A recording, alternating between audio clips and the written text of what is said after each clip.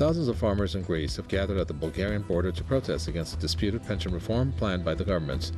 The farmers lined up the tractors near the town of Serres, blocking the border to express their anger over tax reforms imposed by the left wing Syriza government.